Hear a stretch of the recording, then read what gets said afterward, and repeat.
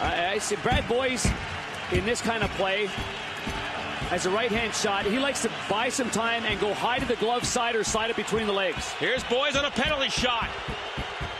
Right in, and he scores with a brilliant move. That is fantastic. Backhand, forehand. Thanks for coming to Emmy, and it's a one-goal game. Wow.